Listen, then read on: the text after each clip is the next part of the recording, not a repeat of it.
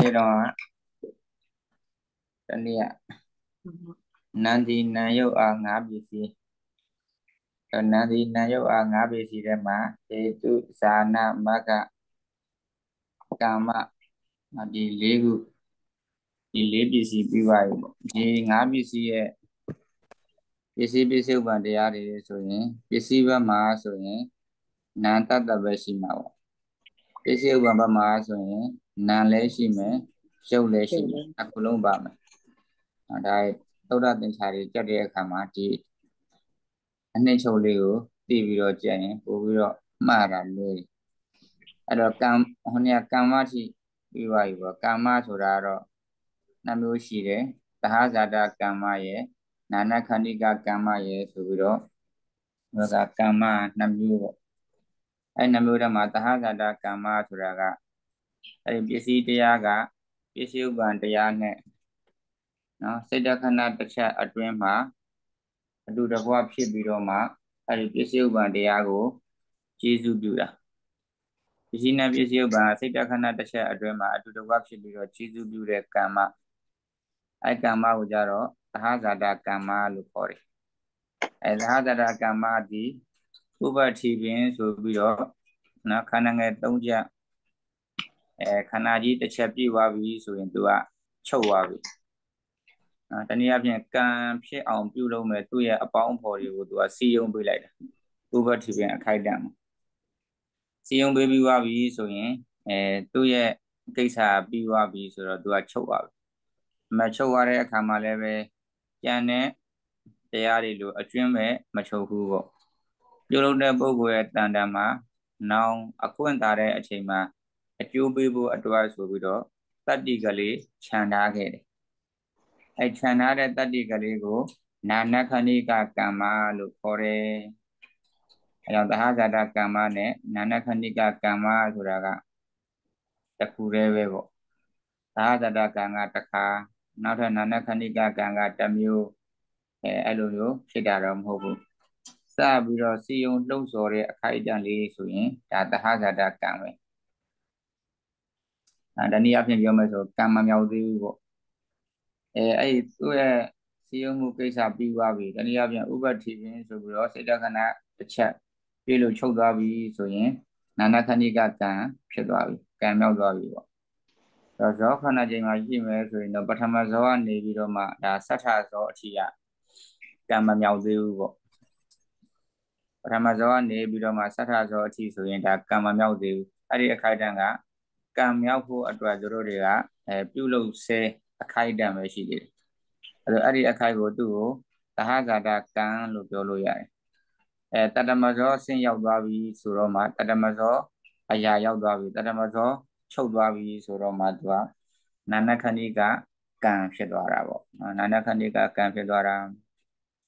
အဲကြောင့်မလို့တဟဇာတကံအခိုက်မှာသူက ကံအရာမမြောက်သေးတဲ့အတွက်ကြောင့်မလို့သူ့အရာကောက်ရင်ကံကိုမကောက်ဘဲနဲ့စေရနာကိုပဲအရာကောက်တယ်အဲအဲဆိုအဲ့ဒီစေရနာသည်သဘာစိတ်တတာရဏစေတသိက်ဆိုတော့စိတ်အားလုံးမှာရှင်တယ်အဲကြောင့်မလို့တဟဇာတကမ္မအရာစိတ်အားလုံးမှာရှင်တဲ့စေရနာအားလုံးပေါ့တော့တဟဇာတာစေရနာစိတ်အားလုံးမှာရှင်တဲ့စေရနာ89ပါးလုံးပစ္စည်းတရားပထမဝိပတ် တော့ပစ္စည်းဥပ္ပံတရားကြတော့ဗဏ္ဏနဲ့ရုပ်ဖြစ်ရမယ်ဆိုတော့တဟဇာတာနံနာမရူပနံသူလည်းပဲဘဝအတိုင်းပဲတဟဇာတာနာမရဲ့တဟဇာတာရူပရဲ့ဒီနှစ်ခုခွဲရမှာပေါ့တော့တဟဇာတာနာမဆိုရင်စေရနာနဲ့ရှင်တဲ့စိတ်စေတသိက်နံပေါ့အဲစိတ်89ပါးပစ္စည်းဘက်ကစေရနာလေးယူရတဲ့အခါကျတော့ပစ္စည်းဥပ္ပံဘက်မှာအဲ့ဒီစေရနာလေးကိုပြန်ပြီးတော့ယူလို့မရတော့ ရှေဟိတ်ဟိတ်တို့ဇာနင်တို့မခင်တို့မှာပစ္စည်းတရားကအဲအများကြီးရှိတာဆိုတော့တခုကပစ္စည်းဘက်မှာနေကျန်တဲ့တရားတွေကပစ္စည်းဥပ္ပံဘက်မှာနေလို့ရတော့လှည့်ပြီးတော့ယူလို့ရတယ်အဲကြောင့်မလို့ဟိတ်ဇာနင်မခင်တို့မှာကြတော့ပစ္စည်းဥပ္ပံဘက်မှာကျင်စရာမလိုဘူးသူတို့လှည့်လှည့်လှည့်လှည့်ပြီးတော့ယူသွားတာဖြစ်လို့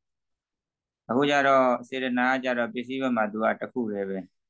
ပစ္စည်းဘက်မှာသူကတခုတည်းဆိုတော့ပစ္စည်းဥပ္ပံဘက်မှာသူ့ကိုလှည့်ပြီးတော့ ယူလို့မရတော့ဘူးအဲတော့ပစ္စည်းဘက်မှာသူ့ကိုယူရတယ်ဆိုရင်ပစ္စည်းဥပ္ပံဘက်မှာသူ့ကိုကျင်ရတော့အဲကြောင့်မို့လို့စိတ်တစ်ခုယုတ်90စေတနာကျင်သောစေတသိက်ဧကပညာတတံပြုတ်တခန္ဓာဒါသာဇာတာနာမ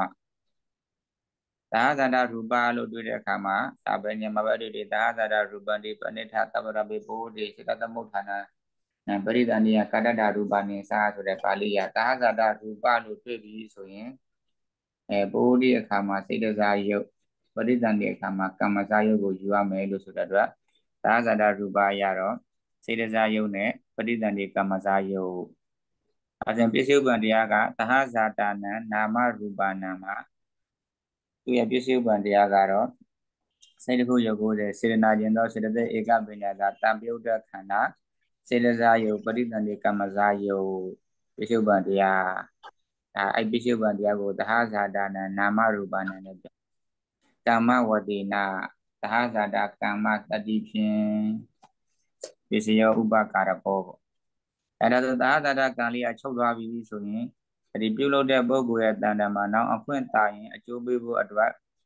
အစွမ်းတတ္တိကလေးခြံထားခဲ့တယ်အဲ့ဒီအစွမ်းတတ္တိကလေးဒီနောက်တစ်ချိန်မှာအခွင့်တာတဲ့အခါမှာအကျိုးပေးခွင့်တာတဲ့အခါမှာ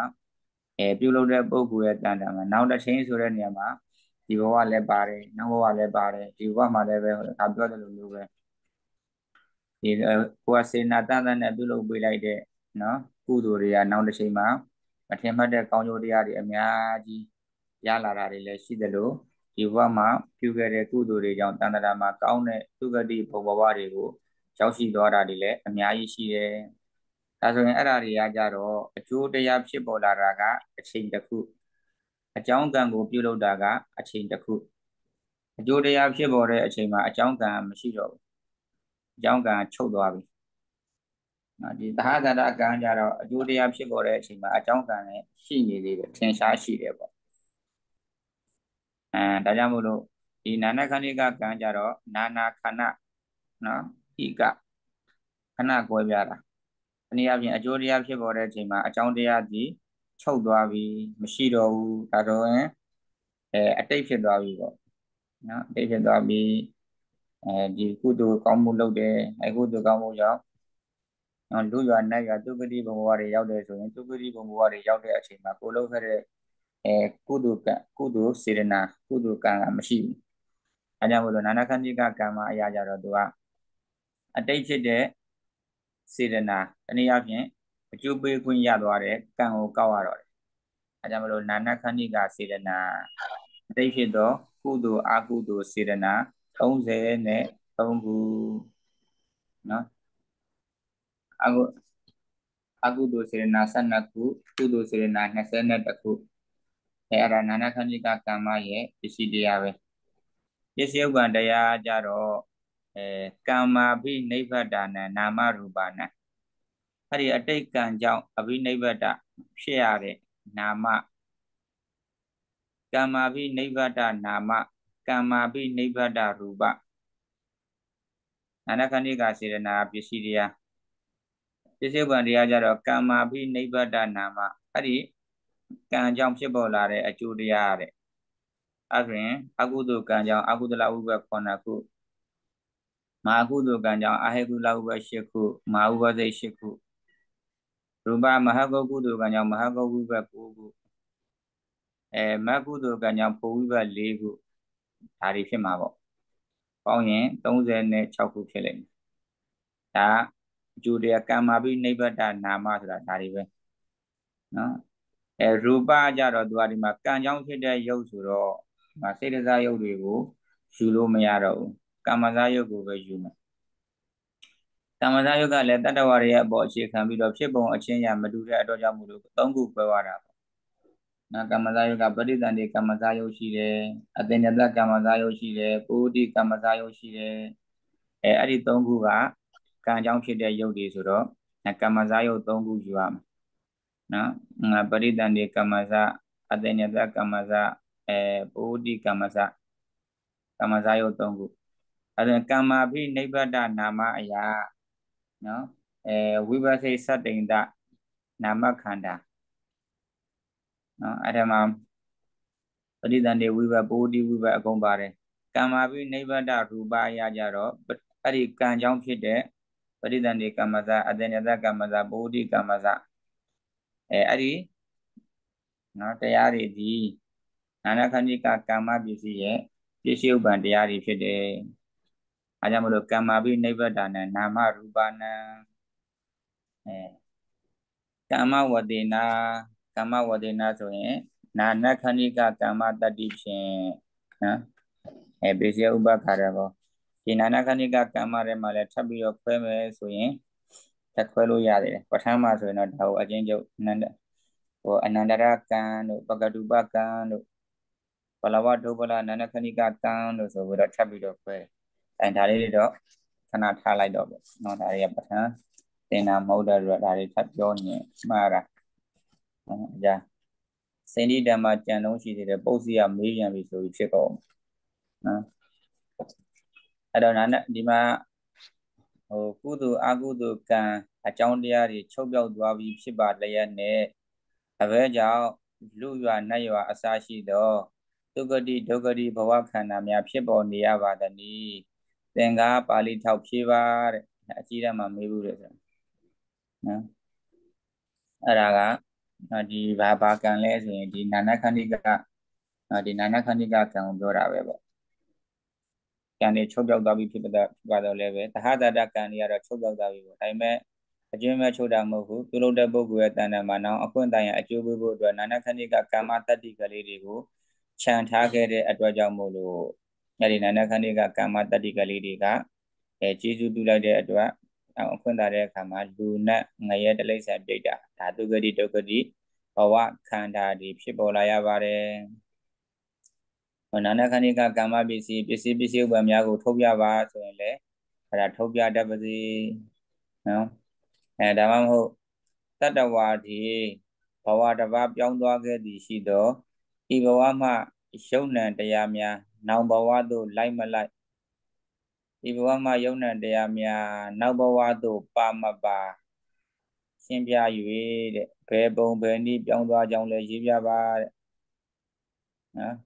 တတဝတွေဘဝတစ်ပါးပြောင်းသွားတော့ဤဘဝယုံ nant တရားနောက်ဘဝသို့မလိုက်ပါဘူးနော်ဒါတော့အဲဒါဘယ်လိုပြောင်းသွားတာလဲဆိုတော့တဲ့စင်စစ်ကဤဘဝယုံ nant ခန္ဓာများချုပ်ပြောက်ချုပ်ဆုံးကွယ်ပြောက်ပြီးနောက်တဲ့နာနခဏိကကမ္မ ဒီဘဝမှာပြုခဲ့တဲ့နော်ကံရဲ့နာနခဏိကကမ္မပစ္စယတတိကြောင့်တဲ့ဘဝတစ်မှာယုံနာခန္ဓာတွေအသိဖြစ်ပေါ်လာတာပါတဲ့နာနခဏိကကမ္မလေးရဲ့တတိကြောင့်နောက်ဘဝမှာယုံနာခန္ဓာအသိဖြစ်ပေါ်လာတာပါတဲ့ဒီဘဝကယုံနာခန္ဓာတွေကနောက်ဘဝကိုလိုက်သွားတာမဟုတ်ပါဘူးတဲ့နာနခဏိကဆိုတာကနော်နာနာခဏခဏကွဲတာတနည်းအားဖြင့်နားလည်အောင်ပြောရရင်တော့ အကျိုးဝိဘတ်ဖြစ်ပေါ်တဲ့အချိန်မှာနော်ဟိုအကြောင်းအကြောင်းပစ္စည်းတရားတွေကမရှိတော့ဘူးအကျိုးနဲ့အကြောင်းကခဏဖြစ်တော့ခဏချင်းမတူဘူးအကြောင်းပြုတာကတစ်ချိန်အကျိုးပေးတာကတစ်ချိန်အဲ့ဒါကိုနာနာခဏခဏကွဲတယ်လို့ပြောတာအဲဆိုရင်ကာမလည်းပြီးစီကာမနှစ်မျိုးအဲနောက်တစ်ခါနောက်ဆုံးတပစ္စည်းကဝိပါက နော်ဝိပါကလည်းပဲခုနေ့တုန်းကဒါပြောတော့နည်းတော့ပြောတော့ပြောခဲ့ပြီးပါပြီတော့ဝိပါကဝိပါကဆိုတာကဝိဘနော်ဝိပါကဆိုတာဝိဘသူကကြတော့ပစ္စည်းတရားကပစ္စည်းဥပ္ပံတရားဟောကဝိဘတ်တည်းပဲပေါ့နော်ပစ္စည်းရောပစ္စည်းဥပ္ပံဟောဝိဘတ်တည်းပဲအဲကြောင့်မလို့သူကနောက်ထပ်အကျိုးတရားအကျိုးခန္ဓာကိုထပ်ပြီးတော့ဖြစ်အောင်လုပ်တာတော့မဟုတ်တော့ဘူး နောက်ထပ်အကျိုးတရားတွေထပ်ပြီးတော့ရှေ့ပစ္စည်းတရားကြောင့်နောက်ပစ္စည်းဥပ္ပံအကျိုးတရားတွေအသစ်ထပ်ပြီးတော့ဖြစ်ပေါ်လာအောင်လုပ်တာမဟုတ်ဘူးအကျိုးအစင်စင်ဖြစ်အောင်လို့လုပ်တာနော်နောက်အကျိုးတရားတွေအသစ်ထပ်ပြီးတော့ဖြစ်အောင်လုပ်တာမဟုတ်ဘူးဘာလို့လဲဆိုတော့သူကိုယ်တိုင်ကအကျိုးကြီးဖြစ်နေတာသူကိုယ်တိုင်ကအကျိုးကြီးဖြစ်နေတဲ့အခါကျတော့နော်။တနည်းအားဖြင့်ပြောမယ်ဆိုရင်ဝိဘဆိုတာက ကုသိုလ်အကုသိုလ်ကံကြောင့်ဖြစ်ပေါ်လာတဲ့အကျိုးတရား။နော်သူများကြောင့်ဖြစ်ပေါ်လာတာ။သူများကိုမှီပြီးတော့ဖြစ်ပေါ်လာတာဆိုတော့သူ့မှာကိုယ်ပိုင်အစွမ်းတတ္တိဘာမှမရှိဘူး။အဲအိမ်ဖော်အိမ်တဲ့အိမ်မှာအိမ်ဖော်လေးအိမ်အစီခံလိုမျိုးပါပဲ။ဒီအိမ်နဲ့ပတ်သက်တဲ့နော်အခွင့်အာဏာသူ့မှာဘာမှမရှိလုပ်ပိုင်ခွင့်ဘာမှမရှိအဲ့လိုမျိုးပဲဝိဘတ်ဆိုတာကလည်း သူကိုယ်တိုင်ကသူများကြောင့်ဖြစ်လာရတာဆိုတော့သူ့မှာအဲထားကြွလုံလဗျာပါရအာထုတ်မှုသဘောတွေဘာမှမရှိဘူးအေးအေးချမ်းချမ်းလေးပဲအတူမကိုယ်ပိုင်အစွမ်းမရှိတဲ့အခါကျတော့နောက်ထပ်အကျိုးတစ်ခုကိုထပ်ပြီးတော့ဖြစ်အောင်မလုပ်ဘူး။ဒါအချင်းချင်းပဲအကျိုးအစင်းစင်းအနေနဲ့ပဲသွားတာအချင်းချင်းကျေးဇူးပြုတာပေါ့။အဲဒါဝိပါကရဲ့ပစ္စည်းတရားဆိုရင်ဝိပါကဆိုတာကကုသိုလ်အကုသိုလ်ကံကြောင့်ဖြစ်ပေါ်လာတဲ့အကျိုးတရား ကုသိုလ်အကုသိုလ်ကံကြောင့်ဖြစ်တယ်ဆိုရင်ကုသိုလ်အကုသိုလ်ကံကြောင့်အခုနောက်တော့ကနာနာခဏိကကံမကြောင့်ဖြစ်တဲ့တရားတွေကိုပြန်ပြီးတော့ကြည့်မယ်ဆိုရင်ကမ္မာဘိနိဗ္ဗတနာမကမ္မာဘိနိဗ္ဗတရူပနော်နာနာခဏိကကံမကြောင့်ဝိပဿိသတ္တိတဩတိပရိဒံနေဝိပနာမခန္ဓာဝိပဿိသတ္တိတဖြစ်တယ်အဲနာနာခဏိကကံမကြောင့်ဝိပဿိသတ္တိတဖြစ်တယ် အဲနောက်တစ်ခါကမ္မဇာယုတ်တွေဖြစ်တယ်ကမ္မဇာယုတ်တွေဖြစ်တယ်ဆိုတော့ဒါဝိပါကကအချင်းချင်းအပြန်အလှန်အကျိုးကျေးဇူးပြုတာဆိုတော့ဒါဆိုရင်ပစ္စည်းတရားမှာရောပစ္စည်းဥပ္ပံတရားမှာပါအဲဒီနော်ကမ္မာပိနိဗ္ဗတနာမရူပဒါတွေကိုအဲယူရတော့မှာယူရမယ့်ပုံစံဖြစ်သွားတာပေါ့ဒါပေမဲ့လည်းပဲနော်ဒီဝိပါကဆိုတဲ့နာမည်ဒီ နော်ဒါတော့ဒီကကြော်ထဲမှာလည်းပါပါတယ်အဲကုသိုလ်အကုသိုလ်ကံကြောင့်ဖြစ်တဲ့အကျိုးတရားတော့ဟုတ်တယ်ဒီကာမဇာယုတ်တွေဒါပေမဲ့လို့ဝိပါကဆိုတဲ့နာမည်ကဒီကာမဇာယုတ်တွေကိုပြောတဲ့အမည်မဟုတ်ဘူးနန္တရားတသက်ကိုသာပြောတဲ့နာမည်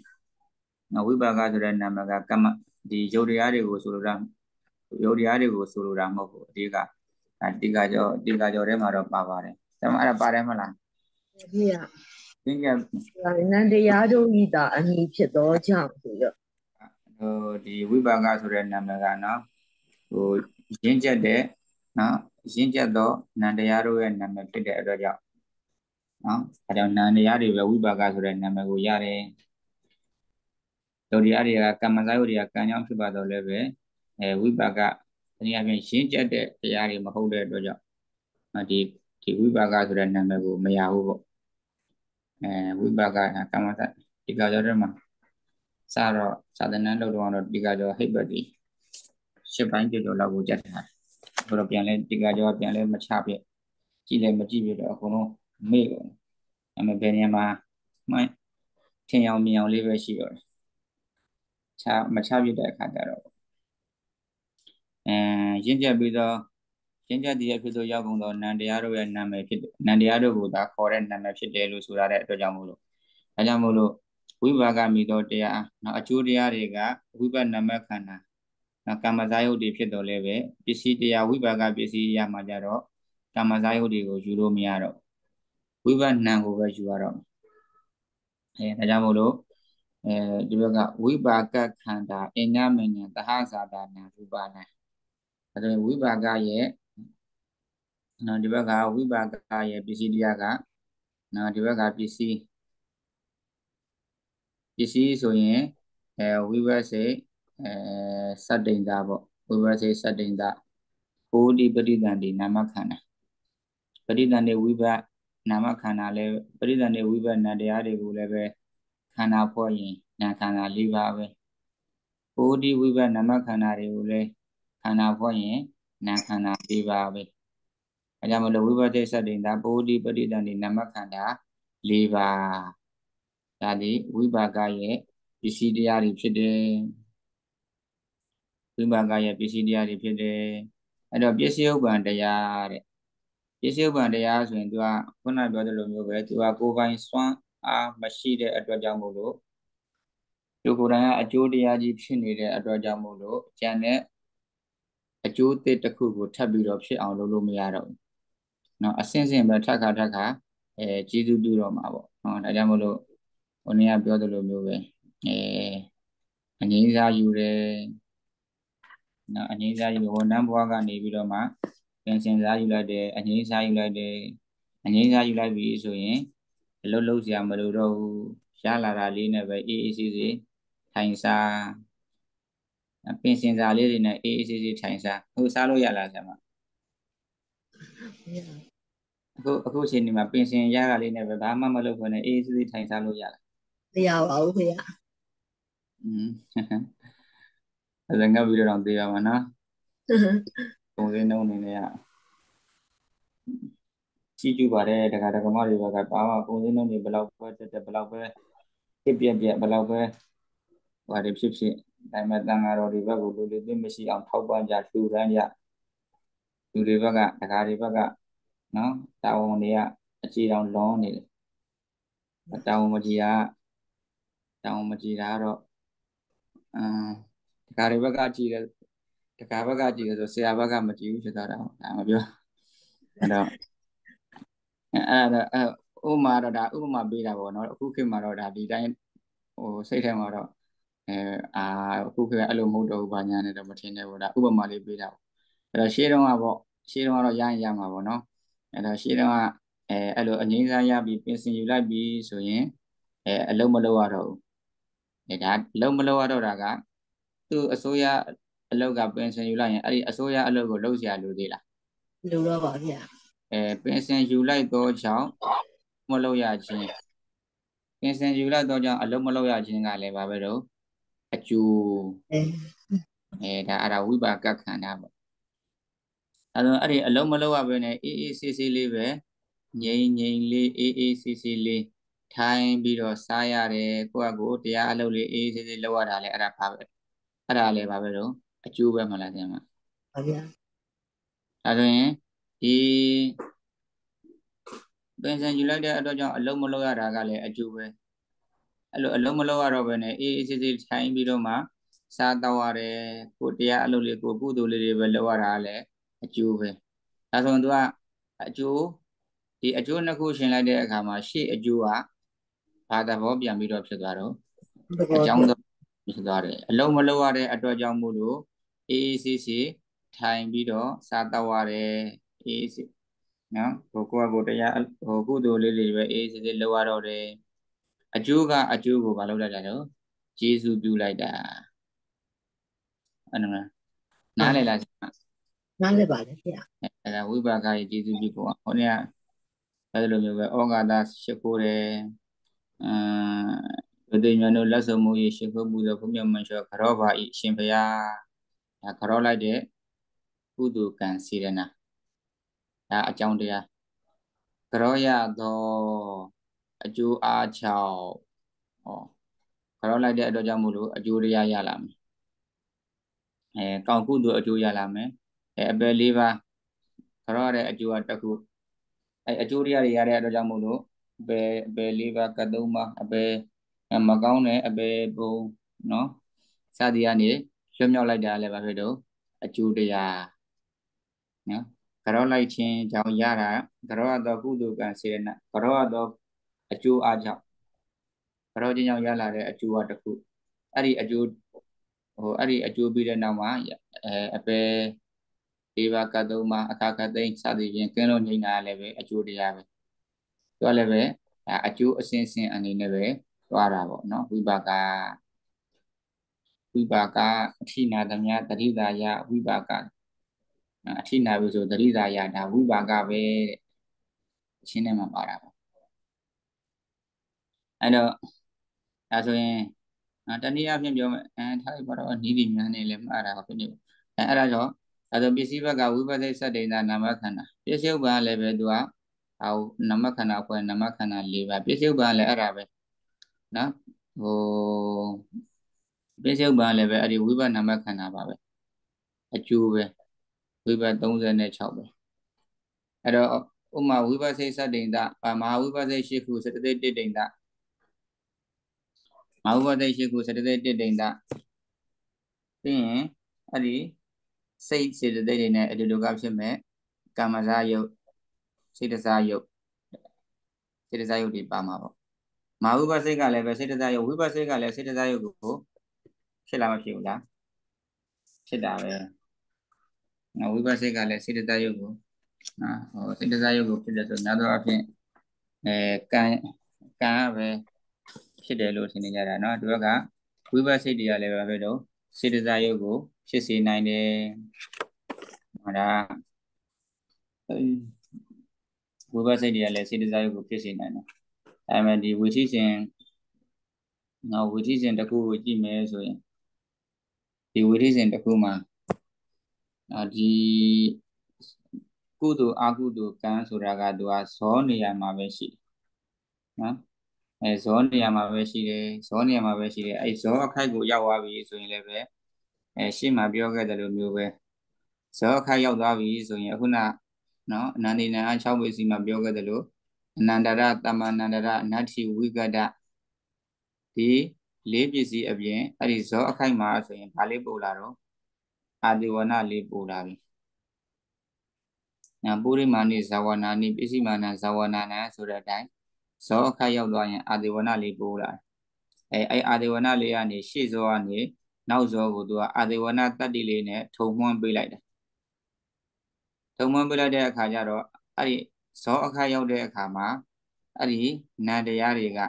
နော်ကုသိုလ်အကုသိုလ်စေတနာကပို့ပြီးတော့အားကောင်းတယ်ပို့ပြီးတော့ပြီးပြင်းနဲ့ထင်ရှားတယ်ပေါ့အဲကြောင့်မလို့ဇောစိတ်ဇောကိစ္စတတ်တဲ့စိတ်တွေကြောင့်ဖြစ်တဲ့ရုပ်ဒီ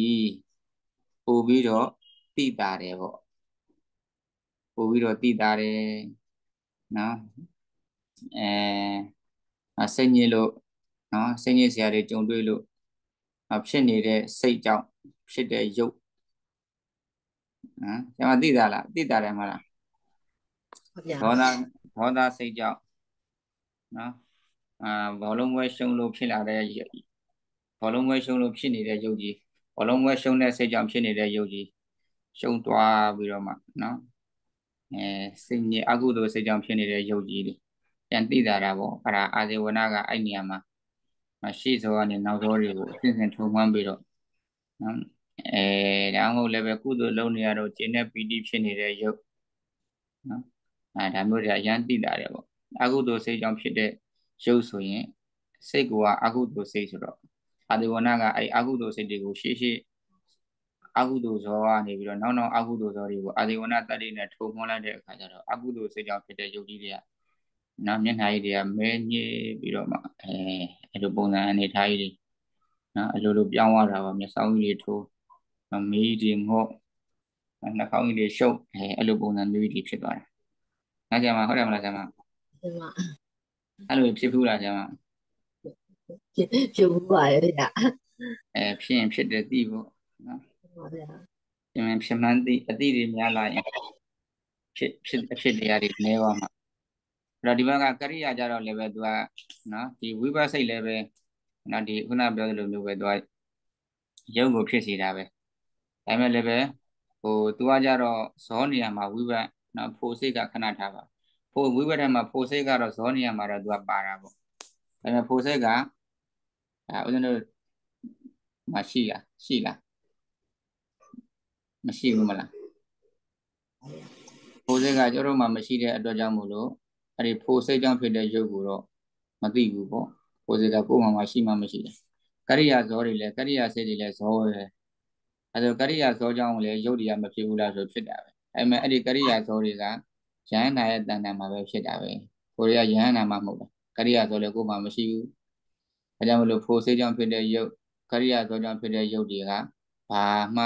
မသိရအောင်ကိုယ်မှရှိတာကတာမန်ကုသိုလ်နဲ့အကုသိုလ်ဇံကုသိုလ်တော့မရှိဘူးနော်ဇံကုသိုလ်တော့မရှိဘူးရှိဖို့လည်းမကြိုးစားပါဘူးကာမကုသိုလ်တော့မှအသေးအတန်ဖြစ်အောင်မနေ့တင်းရင်းပြီးတော့လုပ်နေရတာအဲ့တော့ရှိတဲ့ကုသိုလ်လေးကြောင့်ဖြစ်တဲ့တာမန်ကုသိုလ်လေးစိတ်မပါတာပါနဲ့လုပ်ခဲ့တဲ့ကုသိုလ်လေးတွေကြောင့်ဖြစ်တဲ့ယုတ်ဆိုတော့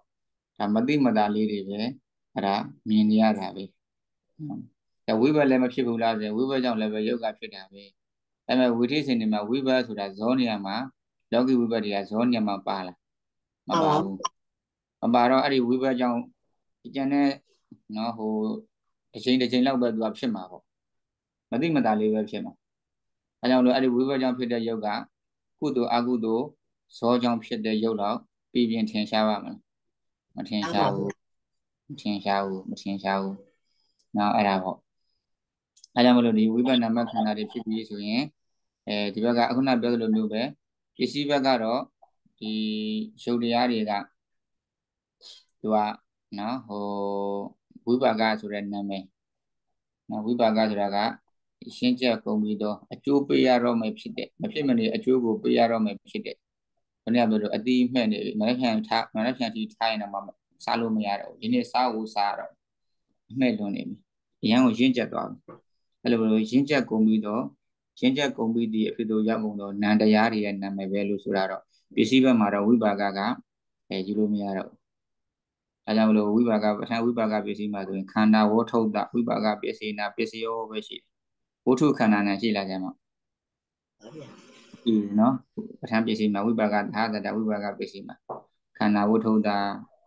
ဒါမရှိဒါပဲရှိတယ်ပေါ့ဝဋ္ထုခန္ဓာနာဒါမရတော့ အဲအဲ့ဒါဆိုရင်အညာမညာပစ္စည်းဥပ္ပံတရားမှာတော့သူကဝိပါကမရောက်ဘူးရုပ်ကမရောက်ဘူးလားဆိုရင်ပစ္စည်းဥပ္ပံဘက်မှာတော့သူကယူလို့ရတယ်ဒီကဘယ်ဘက်မှာပဲယူလို့မရတာလဲဆိုရင်ပစ္စည်းဘက်မှာပဲယူလို့မရတယ်အဲကြောင့်မလို့အဲဝိပါကရဲ့ပစ္စည်းတရားဒီဝိပဿနာမခန္ဓာပစ္စည်းဥပ္ပံတရားလည်းဝိပဿနာမခန္ဓာပါမယ်ပြီးရင်အဲ့ဒီဝိပဿနာမခန္ဓာနဲ့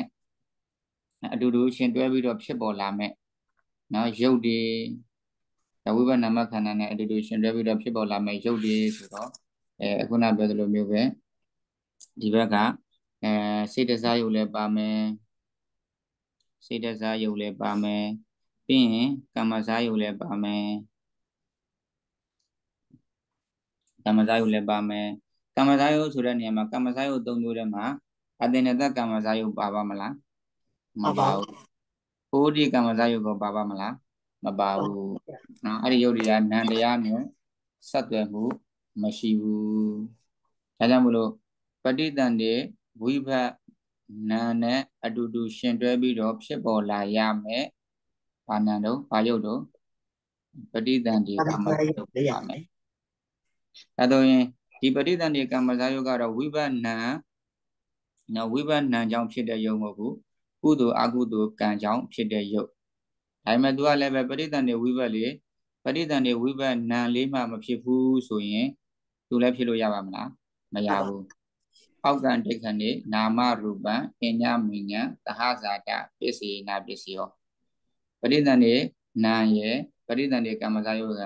နာနယုတ်ကရှိမှပြောခဲ့သလိုမျိုးပါပဲเนาะနာနယုတ်ဒီတပြိုင်နဲ့အတူတကွဖြစ်တယ်ဆိုတာကပရိသန္တိအခိုက်ကလေးမှာပဲရှိတယ်။ နော်ပရိသန္တိအခိုက်ကလေးမှာပဲရှိတယ်။နော်အတိတ်ကကုသိုလ်အကုသိုလ်ကံနေပြီးတော့မှဒီပရိသန္တိကမ္မဇာယုတ်တွေကိုပြစ္ဆုတ်ပံအဝါထိသူကလိုက်ပို့ပြီးတော့အဲပြစ္ဆုတ်ပံအဝါရောက်တဲ့အခါမှာသူကမရှိတော့အဲအဲပရိသန္တိနံလေးနဲ့အတူရှင်းတော့ပရိသန္တိ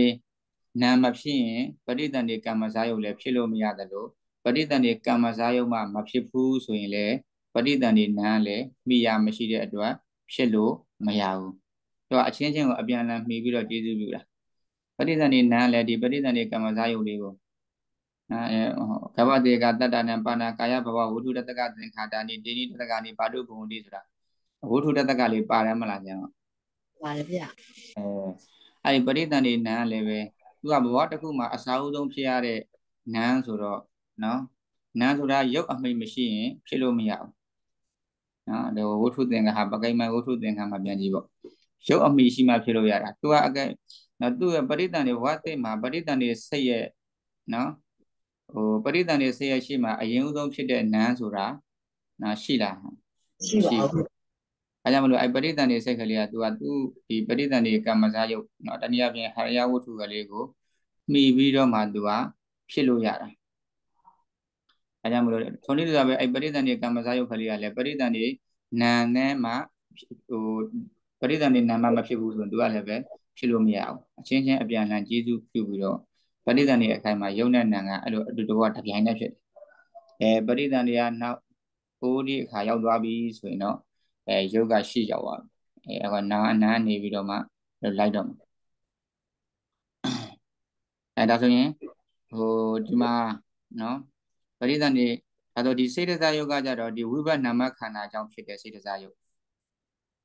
ပရိသန္တိကမ္မဇာယုတ်ကကြတော့ဝိပဿနာမခန္ဓာနဲ့အတူတကွဖြစ်တဲ့ကမ္မဇာယုတ်စေတစာယုတ်ရဲ့အကြောင်းကတော့ဘာစေတစာယုတ်ရဲ့အကြောင်းဆိုရင်ဘာကိုပြောမလို့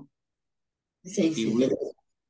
အမဟုတ်လေအဲဒီအခုဒီမှာဒီမှာပြောတာလေဒီဒီစိတ်တစားအခုဒီဝိပဿနာမခန္ဓာနဲ့အတူတူကဖြစ်တဲ့စိတ်တစားရုပ်ရဲ့အကြောင်းတရားဆိုရင်ဘာဖြစ်မလို့ဝိပဿနာပဲဟုတ်တယ်မလားဆရာမဟုတ်ပါဗျာဒီကာမစားရုပ်ရဲ့အကြောင်းဆိုရင်ဒီဝိပဿနာဟုတ်လားမဟုတ်ပါဘူးဗျာမ ဟုတ်ဘူးเนาะဒါနှစ်ခုเนาะဒီလိုဒါလေးဒီလိုလေးထူတယ်အဲဆိုဒီစိတ်တစားရုပ်ကတော့အဲ့ဒီဝိပဿနာကြောင့်ဖြစ်တာပေါ့အဲဆိုဝိပဿနာကြောင့်ဖြစ်တယ်ဆိုတော့အဲစိတ်တစားရုပ်အဲစိတ်တစားရုပ်ထဲမှာနော်ဟိုစေတစာယုတ်ဆိုတာလည်းပဲဒါဝိညာဉ်ဒီတွားရန်စေတစာမေဝဝိညာဉ်တွေကလည်းဘာကြောင့်ဖြစ်တော့စိတ်ကြောင့်ပဲဖြစ်တယ်ဝိညာဉ်တွေကလည်းဘာယုတ်ပဲတော့စေတစာယုတ်ဒါဆိုရင်အဲ့ဒီမှာ ဝိညာဉ်တွေကိုဖြစ်စေတတ်တဲ့စေတစာယုတ်18ခုရှိတယ်ပေါ့တတ္တရတအဲစေတစာယုတ်18ခုထဲမှာနော်ဟိုအဲ့ဒီစေတစာယုတ်18ခုလုံးအဲစေတစာကို18ခုလုံးကဒီဝိပနံကြောင့်ဖြစ်နိုင်လားအဲစေတစာကို18ခုလုံးကဝိပနံကြောင့်ဖြစ်နိုင်လားလို့ကြည့်ရမယ်အဲ့တော့ကြံတဲ့စေတစာကိုတွေကတော့ဖြစ်နိုင်တယ်ဆိုပေမဲ့ခုနကတော့ဝိညာဉ်တွေ ဝိညာဉ်တွေဒီအဲစိတ်ကြောင့်ဖြစ်တယ်ဆိုတော့ဒါဆိုအဲ့ဒီဝိညာဉ်တွေကိုဖြစ်စေတတ်တဲ့စိတ်ဆိုတာဘယ်စိတ်လဲဩထပနကာမဝါစရဇဝနာပညာပနဝိညာဉ်တိမ်ပြီးသမုဋ္ဌာပင်တီးတဲ့ဘုထောကာမဇောတစ်ခုရုပ်30အဘိညာဉ်တွေအဲ့ပါဠိကြားဘူးလားဒီမှာတင်ပါဗျာကြားဘူးပါဗျာရုပ်ပိုင်းထဲမှာရုပ်ပိုင်းထဲမှာရုပ်ပိုင်းစာမျက်နှာလေးပြောပြလိုက်ပါဦးဘယ်လိုစာမျက်နှာ အဲ့တော့စာမျက်နှာ100နဲ့3ရဖြစ်စီဒီမှာအမှန်တကယ်ဒီဘက်က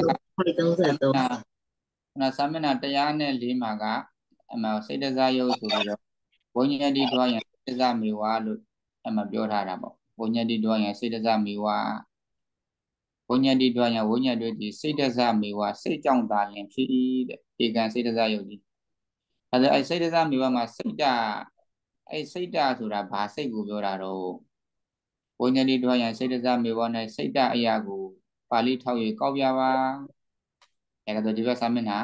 103ကဝိညာဉ်ကိုလည်းဖြစ်စေဖို့နဲ့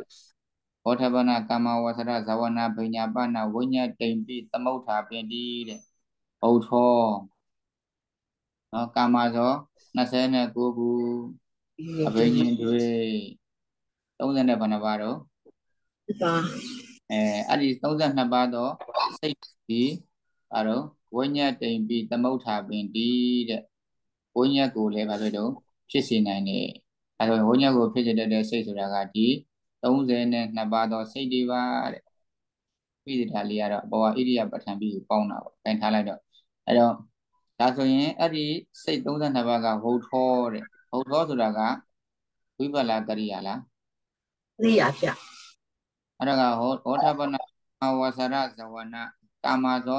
29ခုတဲ့ကာမဇော29ခုဆိုတာလည်းပဲကြည့်လေစောက်ကြည့်လေဘယ်ကိုပဲငင်းနေတယ်ကြားနေတဲ့ဟာကိုကြည့်ဒီကြည့်နေအဲ့တော့ကာမဇော29ခုဆိုတာလည်းဗာစိတ်တွေဆိုတာတော့အကုသိုလ်စိတ်7ပါးအာတိတုတ်ကမာကုသိုလ်စိတ်7ပါးမာကရိယာစိတ်7ပါး အဲ့တော့ကာမဇော29ပါးထဲမှာလည်းပဲဝိဘစိတ်ပါလားမပါပါဗျမပါဘူးအဲ့ဒါကဟိုအဘိညာတဲ့အဘိညာဉ်တွေတဲ့ရူပပြသမဇံကုသိုလ်စိတ်ရဲ့ရူပပြသမဇကရိယာစိတ်ရဲ့အစိတ်နှစ်ပါးဆိုတော့သူကလည်းပဲဝိဘတ်ပါလားပါပါဗျပါဘူးတော့မပါဘူးဒါဆိုရင်ဒီဘက်ကဝိညာဉ်တွေကိုဖြစ်စေနိုင်တဲ့စိတ်တွေကအကုန်လုံးကုသိုလ်ရဲ့အကုသိုလ်ရဲ့ကရိယာရဲ့ဒီစိတ်တွေကြီးပဲနော် အဲ့ဒါမှာဘာဝိဘတ်စိတ်မှမပါဘူးဆိုလိုတာဝိဘတ်စိတ်တွေကစိတ်တစားရုပ်အကုန်လုံးကိုမဖြစ်စေနိုင်ဘူးဘာစိတ်တစားရုပ်ကိုမဖြစ်စေနိုင်ဘူးလဲဆိုရင်ဝိညာဉ်တွေကိုမဖြစ်စေနိုင်ဘူးပါဠိထောက်ပါဆိုရင်ဝဋ္ဌပနကမ္မဝဆရဇဝနာပညာပနာဝိညာဉ်တမိသမုဋ္ဌာပင်တိဆိုတဲ့ပါဠိကိုထောက်ဒါဆိုရင်ဒီဝိဘတ်စေကြောင့်ဖြစ်တဲ့ဒီစိတ်တစားရုပ်ထဲမှာဘာကိုကျင့်ရတော့မလို့ဝိညာဉ်တွေကိုကျင့်ရမယ်ဗျ ဝိညာဉ်တွေကိုကျင့်ရမယ်နော်ဝိဘတ်စေကြောင့်ရပါတယ်ဒီမှာဟိုနော်ဒါသင်ကြီးဟာကောက်ကိုလက်နဲ့ရေးလဲအဆင်ပြေပါဘာတွေကတိတ်မလို့ပါဘူးတက်လည်းမနာပါဘူးနော်နောက်ဓမ္မမို့နော်မှန်ပါဗျာလက်နာနေမှာဆိုလို့ဆိုမနာပါဘူးဒါလေးဖောက်ပါလေးရဒီဒီချက်တောင်မှကျတော့ဘာဖြစ်ခဲ့တာမှန်လားကဲအဲ့ဒါဆိုရင်ဒီမှာ ဒါဆိုရင်ဝိဘတ်စိတ်ရဲ့ပစ္စည်းဝိပါကပစ္စည်းရဲ့ပစ္စည်းဥပ္ပန်တရားကဝိဘတ်စိတ်စက်တင်သားရမယ်အဲစိတ်တစားယုတ်ထဲမှာဝိညာဉ်တွေကျင်သောစိတ်တစားယုတ်ရမယ်ပြီးရင်ပရိသန္တိကမ္မစားယုတ်ရမယ်ပရိသန္တိကမ္မစားယုတ်ရမယ်နော်ဟုတ်တယ်မလားသမီးဟုတ်ပါဗျာအဲ့တော့ဝိပါကရဲ့ပစ္စည်းပစ္စုပန်ရပြီလားရပါပြီဗျာရပြီဆိုရင်ဒီဘက်ကိုဟိုနေတရားကိုကြည့်လိုက်ရအောင် ဒီဘက်ကအနတ်အနတ်ဆိုမယ်ဒါဆိုဒီဟာရရင်အနတ်ဆိုလို့ရတယ်။ဒါဝိပါကခန္ဓာအညမေနတဟဇာတာနံရူပနံဝိပါကခန္ဓာပထမဥပ္ပနဲ့ရှိတဲ့အတွက်ကြောင့်မလို့ဘာကိုပြတော့ပစ္စည်းအညမေနအညမေနဆိုတာဘာဝိပါကိုပြောတာတော့စရုပ်ထီဝိပါပစ္စယနိတိသမှာလည်းပဲအညမေနလို့တွေ့ရင်ဘာဝိပါလို့ပဲမှတ်မှာတော့စရုပ်ထီ ဝိပါအညောအညတနော်အညောအညတပဲစရုပ်ထီဝိပါပဲအဲဆိုအညမေနလို့တွေ့ရင်အဲ့ဒါဒီပစ္စည်းတရားကိုပြတာလားပစ္စည်းဥပ္ပံတရားကိုပြတာလားပစ္စည်းဥပ္ပံကိုပြတာဖြစ်အဲဒါဆိုတဟဇာတာနံရူပနံလည်းပဲစရုပ်ထီဆိုတော့ပစ္စည်းဥပ္ပံပဲဝိပါကဝတိနတတ္တိယဆိုတော့အဲကရိုင်းအဲအဲ့ဒါဆိုရင်အဲပစ္စည်းတရားကိုပြတာကဝိပါကခန္ဓာအဲ့လိုဆိုကြအောင်ဝိပါပစ္စည်းတရားကဒီမှာဝိပါစိတ်စတင်တာလို့ပြောတာအဲအဲ့ဆိုရင် ဝိပါကခန္ဓာဝိပါစိတ်စတင်တာနာမခန္ဓာ၄ပါးတို့သည်အာဂခန္ဓာဥပစိတ်စတင်တာနာမခန္ဓာ၄ပါးတို့သည်အဲအင်ညာမင်ညာတပါးဒီတပါးအားလဘာဘောနော်သူသူနေတရားမှာလည်းဒါလေးပြင်ပြရပါတယ်အင်ညောအင်ညတာစာဆိုပြီးတော့ဒါမှဝိပါကဝတိနေတိစမှာစလေးပါတယ်ပေါ့နော်အဲစလေးကိုသူကဆွဲတာ အင်ညာမင်ညာအင်ညောအင်ညတာစာတပါးဒီတပါးအား၎င်းနမင်ညာအင်ညောအင်ညတာစာတပါးဒီတပါးအား၎င်းအဲအင်ညာမင်ညာဆိုတဲ့ပါဠိကပစ္စည်းနဲ့ပစ္စည်းဥပ္ပန်နဲ့ကအတူတူပဲလို့ပြောတာအဲ့ဒါက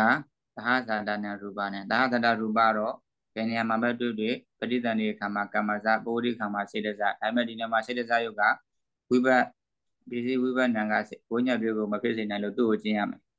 သဟဇာတနာတကွာဖြစ်ကုန်သောသဟဇာတနာတကွာဖြစ်ကုန်သောရူပနိသဝိညာဉ်တွေကျင်သောစေတဇယုတ်ပရိသန္ဓေကမ္မဇယုတ်တို့အား၎င်းပါနေစာဝိညာဉ်တွေကျင်သောစိတ္တဇာယုပฏิတန်ဒီကံဇာယုတို့အား၎င်းဝိပါကဝတေနဝိပါကတတိဖြင့် ပါကဝတေနဝိပါကတတိဖြင့်ပစ္စယဥပကာရကကျေစုပြုတတ်ကုန်သည်ဟွန်တိဖြစ်ကုန်၏တရားဥပကာရကကျေစုပြုတတ်ကုန်သည်ဟွန်တိဖြစ်ကုန်၏အဲအဲအဆက်ဒါလေးဆက်ဆိုလိုက်ပါမယ်အာဣတိဣတိဤသို့နေတိနာဣတိဣတိဤသို့ဤဤသို့နာမနန္တိ ပစ္စည်းနာမနန္တိနာမရူပနာနာယုတ်တို့အားပစ္စည်းပံရူပနာနာယုတ်တို့အားပင်စတာ၅ပါးသောအချင်းအရာဖြင့်ပင်စတာ၅ပါးသောအချင်းအရာဖြင့်ပစ္စယောဥပကာရကောကျေစုပြုတတ်သည်ဟောတိဖြစ်၏စယောဥပကာရကောကျေစုပြုတတ်သည်ဟောတိဖြစ်၏ကဲဆိုကြည့်ပါဦးနော်ဝိပါကခန္ဓာ ဥပသိစ္စတိန်သာနာမခန္ဓာ၄ပါးတို့သည်အညမေညံအညောအညတသာတပါးသည်တပါးအားလည်းကောင်းသဟဇာတာနံ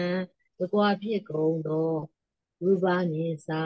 ဝိညာဉ်တွေကျင်သောစိတ်တစားယုတ်ပฏิတန်ဒီကမ္မစာယုတ်တို့အားလည်းကောင်းဝိပါကဝတေနာဝိပါကတတိဖြင့်ပစ္စယဥပကာရက ကျေစုပြုတတ်ကုန်သည်ဝန်ဒီဖြစ်ကုန်၏ဣတိဤသို့နာမနန္ဒီနာမရူပါနံနံယုတ်တို့အားသစ္စာတာငါးပါးသောအချင်းရာဖြင့်ပစ္စယောဥပကာရကောကျေစုပြုတတ်သည်ဟောဒီဖြစ်၏ပါဗျာအဲဟောဒီဖြစ်၏ဟောအဲ့ဒါဆိုရင်ဒီဘက်ကပင်စတာနာမရူပိနံပြီးပါပြီ နော်ဒါဆိုရင်ဟေတုဇာနာမကကမ္မဝိပါကအဲ့မှာလည်းပဲအကယ်၍အခုနတော့ဟိုနော်ဒီဝိပဿနာကအဲဘုညတ်တွေကိုမဖြစ်စေနိုင်တာလေးကိုကြည့်ပြီးတော့မှအဲမေကွန်းလေးထုတ်ကြည့်လိုက်ဥမာပင်စားတာနာမရူပိနာ၌ပင်စားတာအရာဝိပါကပစ္စည်းကိုယူခဲ့သည်ရှိသော နာမရူပိနံဝေရူပအရာ မပါနာမရူပိနံဝေရူပိအရာမပါဝင်နိုင်သောစေတစာယုတ်ကို ပါဠိအထောက်ပြ၍ဖြေပါဟောဒါဆိုရင်အခုနပါဠိကိုနော်အခုနပြောကပြောခဲ့တဲ့ဟာကိုသိရင်မပါဝင်နိုင်သောစေတစာယုတ်ဆိုရင်ဘာစေတစာယုတ်ကိုပြောတာတော့ညက်တွေဝိညာဉ်တွေ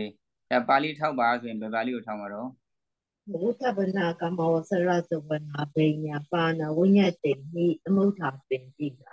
အဲဝိညာဉ်တေမိသမုဋ္ဌာပင်တိအဲ့ဒါတကြတိဟာမှာတကြတိဟာမှာမေးဘူးတယ်တဲ့အဲဆိုတာဒါဒါသိပါရင်ဒါဆရာမတို့တကြတိဟာဖြေလို့ရပါပြီနော်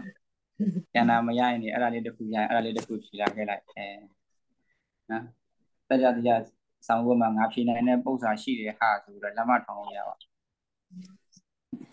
အဲ့တော့အဲ့ဒါဆိုရင်ဒါတစ်ခုချင်းစီဆိုရင်လည်းပဲနော်ဒါရပါစီပေါ့နော်ဥမာဟိုဒါပြောသလိုပဲနော်ငါးခုလုံးဟိုမငါးခုလုံးကျေးဇူးပြုပုံဆိုရင်အဲငါးခုလုံးကျေးဇူးပြုပုံဆိုရင်ဥမာအဲဟိုအရှိမတော်ပြောခဲ့တယ်လောဘမှုကျေးဇူးပြုပုံပြုနေရတော့ပစ္စည်းပစ္စုပန်တော့အကုန်လုံးသိပါပြီเนาะအဲကြအဲကျေးဇူးပြုပုံပြုနေဆိုရင်ဥမာလောဘမှုအဲပထမစိတ် လောဘမှုပထမစိတ်မှာစေတသိက်က19ပါးရှိမယ်ပြီးရင်အဲစေတစားယုတ်ရှိမယ်ပြီးရင်ကမ္မစားယုတ်ရှိမယ်အဲကမ္မဇာယုတ်ရှိမယ်ဒါတို့တို့ဟေတုပစ္စည်းအနေနဲ့ကြည့်မယ်ဆိုရင်ဒီစေတသိက်19ပါးထဲမှာလောဘမှုစိတ်ဆိုတော့လောဘဟိတ်ပါမယ်မောဟဟိတ်ပါမယ်အဲဒါအဲ့လောဘဟိတ်မောဟဟိတ်ဘယ်ဟိတ်ပဲဖြစ်ဖြစ်တခုကိုပစ္စည်းယူမယ်ဆိုရင်အကြံတဲ့စိတ်ကောစေတသိက်ကော ရုပ်တွေကောကအဲတော့အဲလောဘဟိတ်ကဟေတုပစ္စည်းကြံတဲ့စိတ်စေတသိက်ရုပ်ကဟေတုရဲ့ပစ္စည်းဥပ္ပံမောဟဟိတ်ကိုယူမယ်ဆိုရင်လည်းမောဟဟိတ်ကဟေတုပစ္စည်းကျန်တဲ့စိတ်စေတသိက်ရုပ်ကဟေတုပစ္စည်းကနှစ်ခုလုံးကိုယူမယ်ဆိုရင်စိတ်ရဲ့ကျန်တဲ့စေတသိက်18ခုရဲ့ရုပ်ရဲ့ကပစ္စည်းဥပ္ပံအဲ့တော့ပစ္စည်းကနာပစ္စည်းဥပ္ပံကနာရဲ့ရုပ်ရဲ့ အဲ့တော့ဒီလောဘမှုပထမစိတ်စေတသိက်19ခုစေတစာယုတ်ပရိသဏေကမ္မစာယုတ်အဲအဲ့ဒီမှာအဲ့တော့ဟေတုပစ္စည်းအနေနဲ့ပြီးပြီးဆိုဇာနာပစ္စည်းဇာနာနဲ့ကျေစုပြုဖို့ကြည့်မယ်ဆိုရင်ဇာနာရဲ့ပစ္စည်းတရားကဘာလဲတော့အဲဝိဒဝိစာရပီတိဝေဒနာဧကကရာဒါဆိုအဲ့ဒီဇာနင်းတွေပါတယ်ဆိုရင်ဇာနာနဲ့ကျေစုပြုလို့မရဘူးလားနော်ဒါဇာနာဆိုရင်ဟိုဇန်စိတ်မှာပဲကျေစုပြုရဲကျေစုပြုလို့ရတယ်လို့မထင်ရဘူးเนาะအဲ့တော့ ဒါဆိုရင်ဒီ၅ပါးကိုကြည့်မယ်ဆိုရင်เนาะဒီဇာနင်းတရားကို၅ပါးဒီထဲမှာဝိတ္တဝိစာရဒါတွေမပါဘူးလားမပါတယ်ဗျဝိတဝိသရာပိဋိဝေနာဧကကအကောင်အကောင်လုံးမပါဘူးလားဟုတ်ပါတယ်ဗျဒါပဲနော်အဲကြောင့်မလို့အဲ့ထက်မှာဝိတကိုဇာနာပစ္စည်းယူမယ်ဆိုရင်ဉာဏ်နဲ့စိတ်ရဲ့စေတသိက်18ခုရဲ့ရုပ်တွေရဲ့ကဇာနာပစ္စည်းဥပ္ပံဝိသရာကိုယူမယ်ဆိုရင်လည်းဉာဏ်နဲ့စိတ်စေတသိက်ရုပ်ကဇာနာပစ္စည်းဥပ္ပံပဲ ငါးခုလုံးယူမယ်ဆိုရင်ဉာဏ်နဲ့စိတ်စေတသိက်ရုပ်ကလည်းဇာနာပစ္စည်းဥပ္ပံပဲဒါတော့ပစ္စည်းကနာပစ္စည်းဥပ္ပံလည်းနာရဲ့ရုပ်ရဲ့ပဲအဲမဂ္ဂအနေနဲ့နော်ကျေစုပြုပုံကြည့်မယ်ဆိုရင်မဂ္ဂမှာပညာဝိတ္တဝိရတိသုံးကိုဝိရိယတတိဧကကတဒိဋ္ဌိဟောဒါပါတယ်အဲဆိုအဲ့ဒီမောက်ကင်တရားကိုကိုပါဒီစေတသိက်19ပါးထဲမှာပညာမပါဘူးဝိတ္တပါမယ်ပါတယ်ဝိရိယပါသုံးခုမပါဘူးနောက်ကဝိရိယပါမယ် အဲနောက်ကတတိမပါဘူးဧကကတပါမယ်ပြီးရင်ဒိဋ္ဌိပါမယ်ဒိဋ္ဌိပါမယ်အဲဆိုဒီလောဘမှုစိတ်မှာရှင်တဲ့စေတသိက်19ပါးထဲမှာဟိုမောက်ကင်တရားကိုဘယ်နှပါပါတော့၄ပါးပါနော်ဝိတ္တရဲ့ဝိရိယရဲ့ဧကဂတရဲ့ဒိဋ္ဌိရဲ့အဲ့၄ပါးထဲမှာတစ်ပါးကိုပစ္စည်းယူမယ်ဆိုရင်ဉာဏ်နဲ့စိတ်စေတသိက်ယုတ်ကပစ္စည်းယုတ်ပါမယ်နှစ်ပါးယူလဲဉာဏ်အကုန်သုံးပါးယူလဲဉာဏ်အကုန်၄ပါးယူလဲဉာဏ်အကုန်ဟောအဲ့တော့ဒီမှာလည်းပဲမဂ္ဂနဲ့ကျေစုပြုလို့မရဘူးလားရတာပဲနော်စိတ်စေတသိက်ယုတ် အဲ့တော့ကမ္မကမ္မဆိုရင်သာသနာကမ္မနာနခဏိကကမ္မသာသနာကမ္မလည်းဒီမှာဒီလိုပြောလို့ရတယ်သာသနာကံဆိုတာကဒီနဝိတ္တသာသတကံဆိုတာဒီဟေတုတို့ဇာနာတို့မဂ္ဂတို့ ਨੇ ကျေစုပြုပုံအတူတူပဲဟေတုဇာနာမဂ္ဂဆိုတာလည်းပဲစိတ်တခဏတစ်ချက်အတွင်းမှာပဲပစ္စုပန်တရားတွေကိုသူကကျေစုပြုတာပဲသာသတာကမ္မလည်းပဲစိတ်တခဏတစ်ချက်အတွင်းမှာပဲသူကကျေစုပြုတာပဲအဲတော့ဒီစေတသိက်16ပါးထဲမှာကမ္မစေတနာမပါဘူးလား ပါပါတယ်ဗျပါတာဗောအဲတော့ဒီ16ပါးထဲမှာပါတဲ့စေတနာကိုအဲစေတနာလေးကိုပစ္စည်းယူမယ်စေတနာလေးကိုပစ္စည်းယူမယ်ဆိုရင်အဲ့စေတနာဒီသာသတာကမ္မပစ္စည်းပဲအဲတော့ပစ္စည်းဥပ္ပံတရားကအဲ့ဒီလောဘမှုစိတ်ရဲ့အကျဉ်းတဲ့စေတသိက်18ခုရဲ့စေတစာယုတ်ရဲ့ပရိသန္တိကမ္မစာယုတ်ရဲ့ကအဲ့ဒါသာသတာကမ္မရဲ့ဘာတော့ပစ္စည်းဥပ္ပံနော်သာသတာကမ္မရဲ့ပစ္စည်းဥပ္ပံဟောနာနခဏိကကမ္မကြတော့ဒါနဲ့ပြောလို့ရလား မရတော့ဘူးเนาะနာနခဏိကကမ္မကြတော့သူကအကြောင်းနဲ့အကျိုးကခဏခြားသွားပြီဒီဘဝကံပြုတယ်နောက်ဘဝမှာပရိသန္တိဒုက္ခတိအဲဒုက္ခတိပရိသန္တိအကျိုးပေးတယ်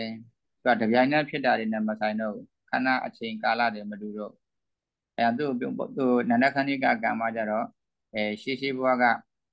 ဒီပြစ္ဆုတ်ပံဘဝအကျိုးကိုကြည့်မယ်ဆိုရင်ရှေးရှေးဘဝကရှေးရှေးဘဝကုသိုလ်ကံကနန္ဒခဏိကကမ္မပစ္စည်းဒီပြစ္ဆုတ်ပံဘဝအကျိုးတရားတွေကနန္ဒခဏိကကမ္မပစ္စုပံ အနာဂတ်ဘဝအကျိုးကိုကြည့်မယ်ဆိုရင်အခုပြစ္ဆုတ်ပံဘဝမှာပြုတဲ့ကုသိုလ်အကုသိုလ်ကံကနန္ဒခဏိကကမ္မပစ္စည်းအနာဂတ်ဘဝမှာဖြစ်ပေါ်လာမယ့်ပဋိသန္ဓေဥပနာမခန္ဓာချုပ်တွေကနာနခဏိကကမ္မပစ္စယုပံကံကအခုပြုတယ်အကျိုးကနောက်ဘဝမှာပေးတယ်အဲ့လိုမလားကမ္မဟုတ်ဗျာအဲဝိပါကဝိပါကဆိုရင်လည်းပဲခုနဒီမှာဒါနဲ့ဟောဒါတွေကဝိပဿစိတ်မဟုတ်တဲ့အခါကျတော့ဝိပါကနဲ့တော့ကြည့်ရတော့ အဲ့ဒါဝိပါကဆိုရင်မဟာဝိပဿစိတ်ရှိခုစေတသိက်တိတိန်ဒါစေတစာယုတ်ပရိသန္တိကမ္မစာယုတ်ပါမှာပေါ့အဲ့မှာမဟာဝိပဿစိတ်သူတို့အကုန်လုံးကိုခန္ဓာဖော်လိုက်ရင်နာခန္ဓာ၄ပါးကြီးပဲအဲ့တော့နာခန္ဓာမှာစိတ်မဟာဝိပဿစိတ်ရှိခုကိုအဲဝိပါကပစ္စည်းအနေနဲ့ယူမယ်ဆိုရင်ကျန်တဲ့စေတသိက်နမခန္ဓာ၃ခုနဲ့စေတစာယုတ်ပရိသန္တိကမ္မစာယုတ်ကဘာတွေပဲတော့ဝိပါဝိပါကပစ္စည်းရဲ့ပစ္စည်းဥပ္ပံပဲပေါ့ဟုတ်တယ်မလားဆရာမ ခန္ဓာတစ်ပါးကိုပစ္စည်းယူမယ်နဲ့ဝိပနမခန္ဓာလေးပါးမှာခန္ဓာတစ်ပါးကိုပစ္စည်းယူမယ်ဆိုရင်၃ပါးနဲ့ကျန်တဲ့ရုပ်တွေကဝိပါကရဲ့ပစ္စည်းဥပ္ပံပေါ့အဲဒါဆိုရင်ဒါနော်အခုပင်စတာနာမရူပိနံနာပင်စတာနာမရူပိနံပြီးသွားပြီပေါ့ဒီ၅ခုရဲ့ပစ္စည်းတရားကနန္တတ္တပစ္စည်းဥပ္ပံတရားကနာရောရှုပ်ရောနှစ်မျိုးလုံးပေါ့နော်ဟုတ်တယ်မလားဟုတ်ပါဘူး ဒါဆိုရင်စတာနာမတုနာမတပြီးပြီပင်စတာနာမရူပိနံပြီးပြီအဲ့တော့အဲဒီဒီနေ့မနက်ဖြန်အဖိတ်နော်ဒါလာပြီလာပြီနေလာပြီနေတော့တရက်နားလိုက်မယ်ပေါ့နော်လာပြီနေတရက်နားလိုက်မယ်အဲ့တော့မနက်ဖြန်တော့မနာသေးဘူးပေါ့ gain ဒီနေ့တော့လောက်နေပဲထားကြအောင်လို့